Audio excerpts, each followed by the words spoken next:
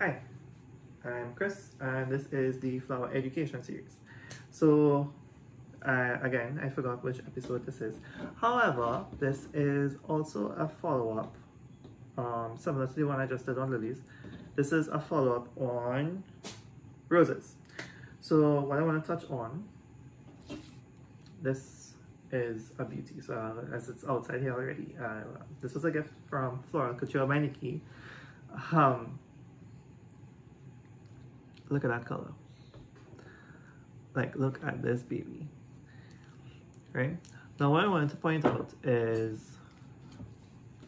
look at this petal. Now you see how it gives a kind of an ombre kind of effect. I mean, actually, let me change the lighting so you can probably see it better.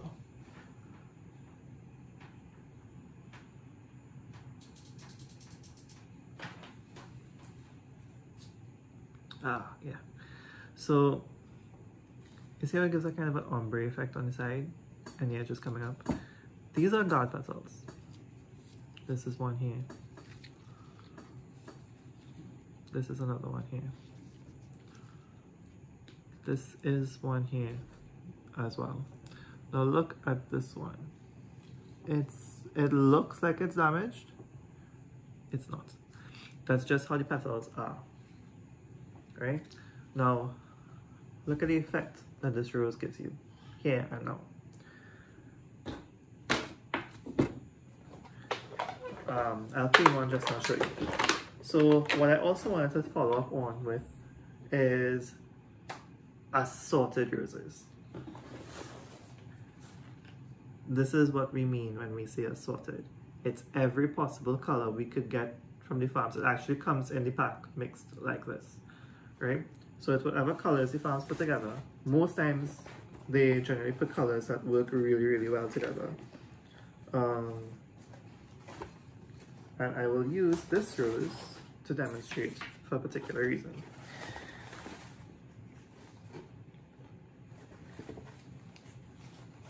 And this one, because it's two of the same, just different lengths. Right.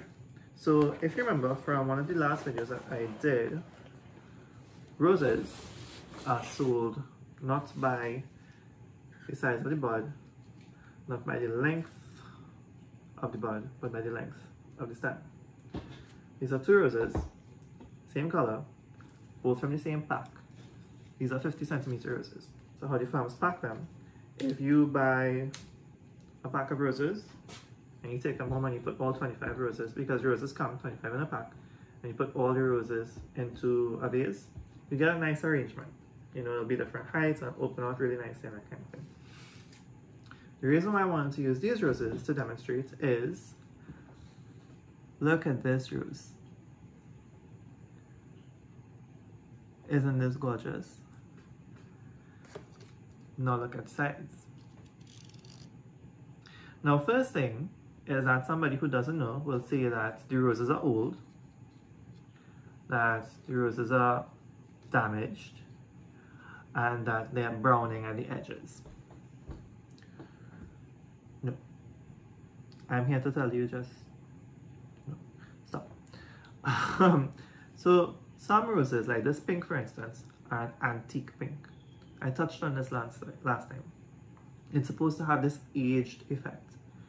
So these colorations here, if you look at it closely, is actually green the tips of it are actually green. It's just that it's so translucent, it looks brown, but it's not. Now, reason why I took two of them out, I want to show you the difference.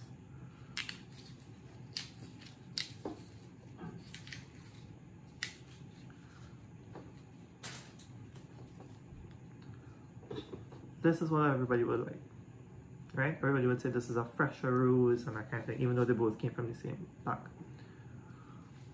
No, okay, this one is okay. So this is where I would remove a guard petal because it is actually damaged. Now, you tell me, which one would you prefer? A or B? A or B? A or B? Which one looks more like a rose to you? And that's um, something that I want to get at. A lot of customers, a lot of florists get a lot of complaints saying that florists have sent them old flowers really and truly we have left the guard petals on to add character to the rose. Take for instance this color. This is an ascot rose. It's absolutely gorgeous. It's this plum wine color mix. If I remove any of these guard petals, this rose loses the effect instantly. And if I give this to a customer with all the guard petals, I'm going to get a call getting one set of buff. Um, another one would be huh, purple roses. Seeing that variegated beauty. So this one is something called deep purple. Now again, all of these come from the same pack, from the same farm. Deep purple roses. Now, again, you see in the two-tone, the darker, but almost pinkish on the outside and the lilac here on the inside. Now if we do what everyone else wants us to do,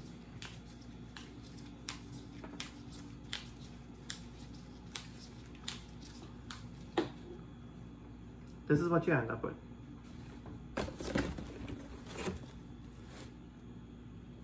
Sorry, I just damaged that one.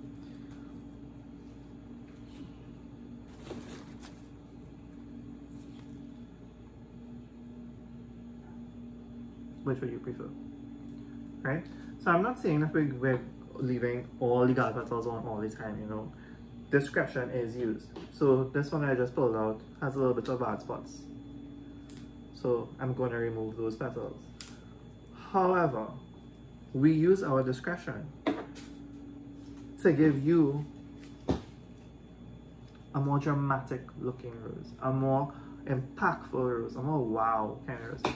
Of you watch Bridgerton, you think in Bridgerton they were actually cleaning roses like this. This is a modern day, modern day thing to do roses like this. This is how roses are actually done. Um, like I said, the only time we remove guard petals is when they look something like this, when they're actually folded back on themselves, etc. And that's it. Right? So this this video isn't here to uh, make anyone feel bad, it really is to educate. Right? Um, this is actually my rose now. um, yeah, but it's really just to educate.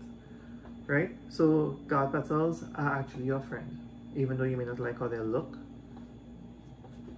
It gives the illusion of an open rose without the rose being, you know, plucked.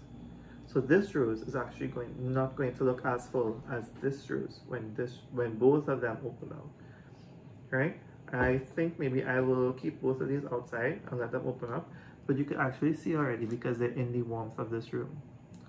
I specifically took the AC off just for this video right? So you're seeing the difference.